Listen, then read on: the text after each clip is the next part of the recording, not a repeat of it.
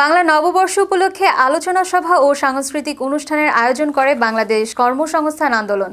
রাজধানীর মালিবাগে Dhaka Oxford International School and College মাঠে অনুষ্ঠিত সভায় প্রধান অতিথি হিসেবে উপস্থিত ছিলেন সাবেক সংসদ সদস্য ও রাজনৈতিক অধ্যয়ন ফোরামের মুখপাত্র জনাব অধ্যাপক হুমায়ুন কবির হিরো। প্রধান আলোচক হিসেবে বক্তব্য রাখেন গণ আজাদি লীগের মহাসচিব জনাব মোহাম্মদ আতাউল্লাহ খান। বিশেষ অতিথি ছিলেন বাংলাদেশ কংগ্রেসের চেয়ারম্যান অ্যাডভোকেট কাজী রেজাউল হোসেন।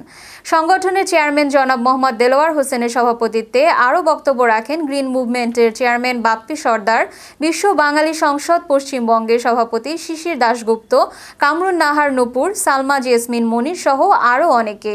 আমরা যে যে জায়গায় আছি, ওই জায়গায় থেকে আমরা প্রত্যেকে যদি আমাদের নিজেদের একজনকে একটা কর্মসংস্থানের ব্যবস্থা করে দেই, তাহলে বাংলাদেশে অ্যাটলিস্ট একজন বেকারের আর্তনাদ কমবে।